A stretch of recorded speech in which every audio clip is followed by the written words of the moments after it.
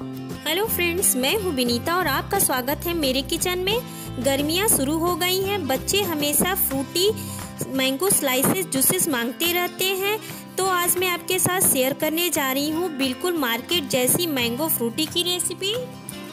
वो भी बहुत ही आसान तरीक़ों से सिर्फ़ 10 मिनट में आप मैंगो फ्रूटी मार्केट के जैसा घर पर बना सकते हैं और वो भी मात्र दो ही चीज़ों से और इसे आप 10 दिनों तक स्टोर करके रख सकते हैं। इस फ्रूटी का जो टेस्ट आएगा वो बिल्कुल बाज़ार जैसा आप इसे पीते जाएँगे और बच्चे दिन भर आपसे मांग मांग कर पीते रहेंगे। अगर मेरी रेसिपी अच्छी लगे तो वीडियो के नीचे लाइक और कमेंट ज़रूर करें और मेरे चैनल को सब्सक्राइब करना ना भूलें। नीचे दिए गए बेल आइकन को प्रेस ज़रूर करें ताकि आने वाली वीडियो का नोटिफिकेशन मिले। तो चलिए शुरू करते हैं मैंगो फ्रूटी बनाना।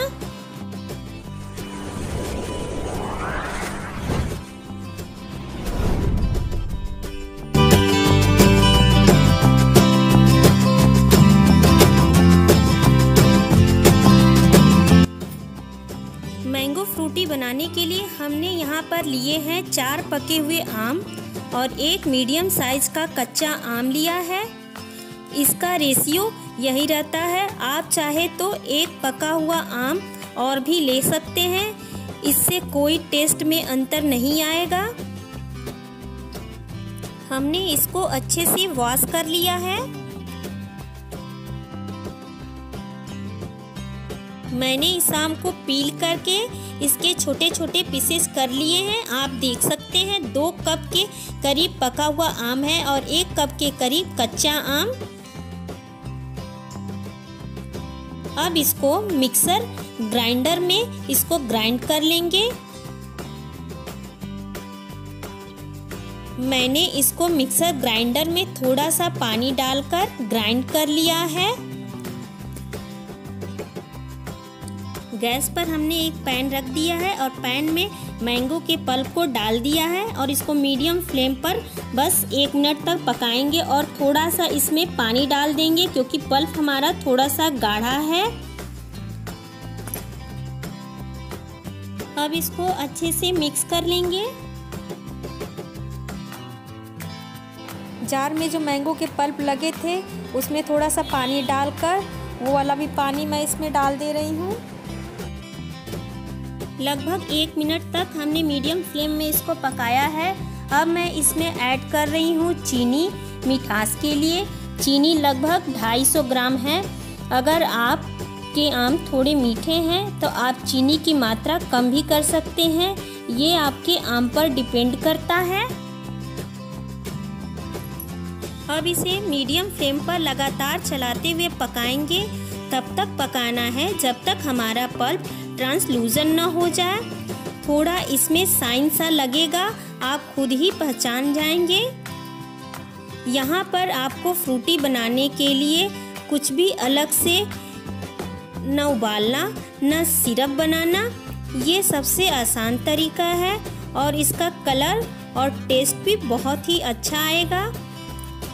आपको कोई भी फ़ूड कलर इसमें नहीं डालना है। बिल्कुल ओरिजिनल फ्रूटी का ही कलर आएगा और इसका टेस्ट मार्केट से भी अच्छा लगेगा। अब आप देख सकते हैं पकाते पकाते इसका कलर भी चेंज हो गया है।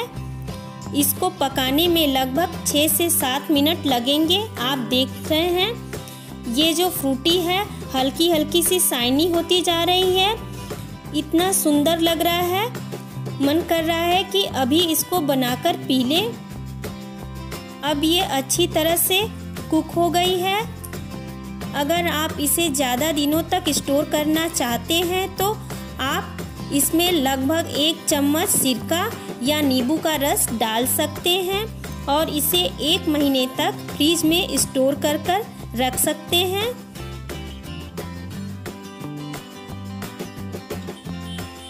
मैं इसमें बिना सिरका और बिना नींबू के रस का बनाकर बता रही हूँ। आप इसे 10 दिनों तक फ्रिज में रख सकते हैं। ये बिल्कुल ख़राब नहीं होगी।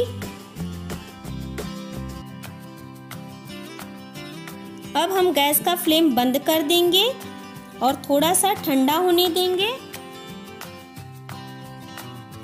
अब एक बॉल के ऊपर छन्नी रखिए और इसको अच्छे से छान लीजिए। इसमें जो भी इसके रेसे रहेंगे, वो निकल जाएँगे। बच्चों को भी पीने में परेशानी नहीं होगी।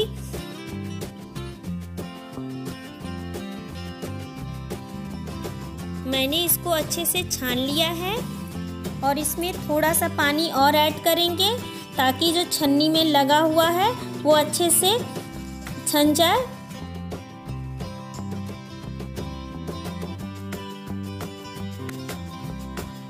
मैंने तीन गिलास के करीब पानी और ऐड कर दिया है, ताकि थोड़ा सा ये पतला हो जाए। जैसा मार्केट में फ्रूटी होता है, उतना ही पतला करना है। आप देखिए कितना अच्छा हमारा फ्रूटी बना है, बिल्कुल मार्केट के जैसा। आप इसकी कंसिस्टेंसी को देख रहे हैं। मैंने जिस तरह से बनाया है, इसको बनाने में लगभग 10 मिनट लगा है। अब मैं इसको फ्रीज में दो घंटे के लिए ठंडा होने के लिए रख देती हूँ।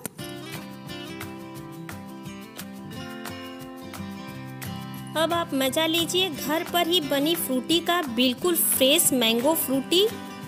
अब ये सर्व के लिए तैयार है और इसका कलर, टेक्सचर देख रहे होंगे। इसका टेस्ट और फ्लेवर बिल्कुल मार्केट जैसी फ्रूटी का है।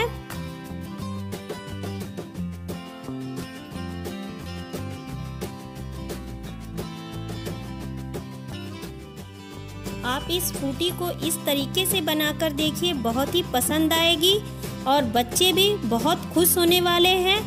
आप इसे फ्रीज में रख लें और जब मन करे, इस गर्मी में आनंद उठाइए इस ठंडी ठंडी फ्रूटी का। तो फ्रेंड्स, अगर आपको मेरी रेसिपी अच्छी लगे तो शेयर करना बिल्कुल मत भूलें। Have a lovely day, bye bye and take care. Thank you so much